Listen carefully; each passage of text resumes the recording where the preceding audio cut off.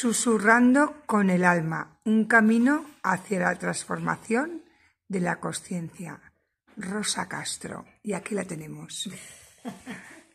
Mi primer libro. Tu primer libro. Mi primera criatura. Cuéntanos lo que quieras de este libro, lo que tú quieras. Pues mira, a ver, este libro, cuando empecé a hacerlo, creía que iba a tardar un año o dos, como me ha pasado con Alma de Pareja. Pero este empecé el, el 8 de abril y lo terminé el 18 de abril del 2012. Entonces me quedé impactadísima porque no me lo esperaba. Entonces ocurrieron muchas cosas que mm, dirías, Dios mío, esto no es de este mundo. Hago un inciso, porque yo sé un poquito. Tú me dijiste, empecé a- escribir como un diario. ¿Te acuerdas?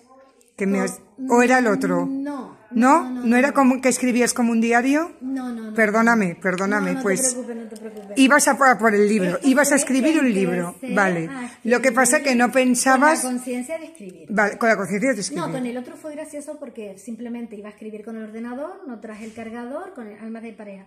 Y luego tenía las dos libretas de Cenicienta y Vale, Blancanieves. vale, pues eso es lo que Empecé yo- a escribir a mano vale, con entonces Me la perfecto. atención que digo, uy, y es de pareja. Vale, perfecto. Pues este era un libro consciente. Sí, sí, este habla de las cargas ancestrales, de los perfiles de los egos más detalladamente, eh, de casos también. Este sí que es un libro de autoayuda. Sí, sí, bueno. mm, también De autoayuda me refiero- No, no es tan común porque ya te digo, sigue siendo de investigación, de investigación holística, de mucha investigación, de cargas que hablan de las cargas ancestrales, de muchos casos y testimonios al final también. ¿Dónde lo pueden comprar?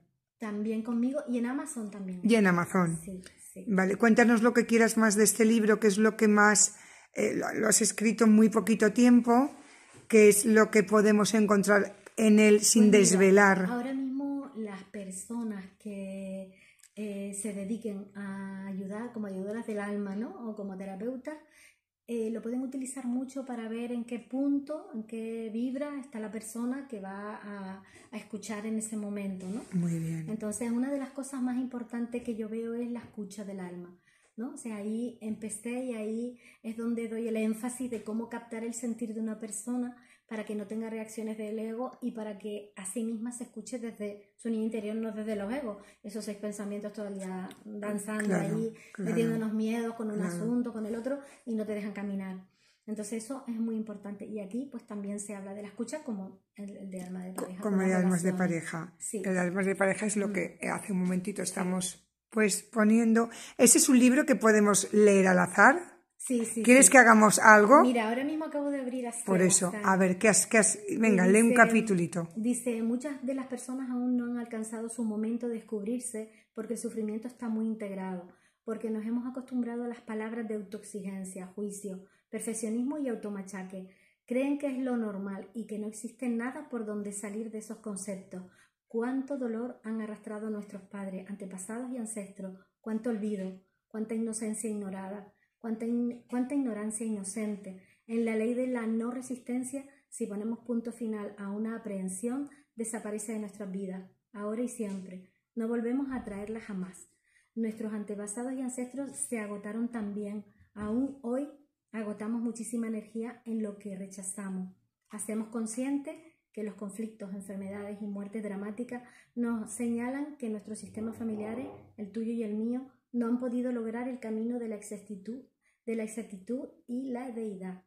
Si reconocemos ese sufrimiento sometido a la conformidad, el aguante y la tragedia, nos damos cuenta de que nuestros seres ancestrales nos han dejado un gran legado para que actualmente seamos capaces de generar nuestra realidad y ver el caos mental al que nos hemos sometido igualmente, creyendo en una verdad adquirida mentalmente, no sentida ni reconocida como lo más pleno, alterando la ley del amor por ellos mismos. Y ahora por nosotros también ocurre continuamente, sin saber o despertar, pues siempre había existido y existe una ley para conseguir la creatividad divina.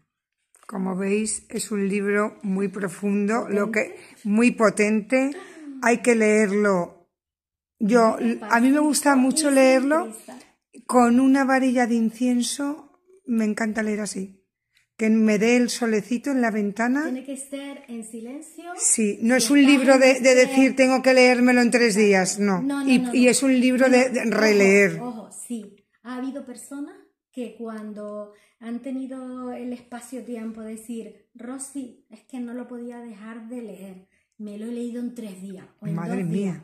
Sí, han habido personas que sí, sorprendente. Hay personas que se han enfadado con leer lo que lee de las cargas que lleva y por qué Claro, yo y por qué- claro, claro. Sí, no, claro. nosotros somos el resultado de todos nuestros ancestros y ancestras que venimos a ordenar lo que está desordenado en nuestro subconsciente.